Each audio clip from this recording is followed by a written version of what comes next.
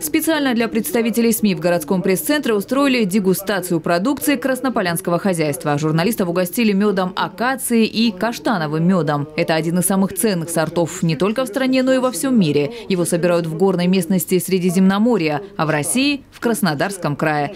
Данное же хозяйство на Красной Поляне было создано 55 лет назад для сохранения и разведения ценной популяции серой горной кавказской пчелы. Имеет свою особенность, у нее хоботок для добычи меда и сбора именно собирания урожая 7 миллиметров, в отличие от обычной пчелы, э, которая имеет хоботок 6, что помогает ей забираться в более доступные места для сбора пыльцы. Кроме того, собираемся импортировать за рубеж.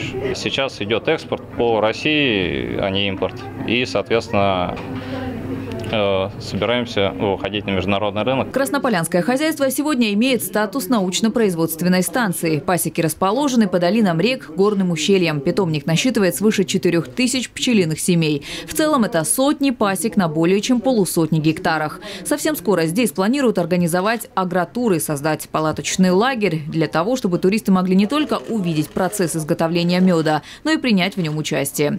Сегодня агротуризм набирает все большую популярность в Краснодарском крае. Как рассказали в Министерстве курортов, туризма и олимпийского наследия региона, за последние три года количество объектов сельского туризма увеличено в два с половиной раза. Сейчас их в регионе более ста. Из них каждый третий специализируется на гастрономическом направлении. Винодельни, кофермы, пасеки и сыроварни.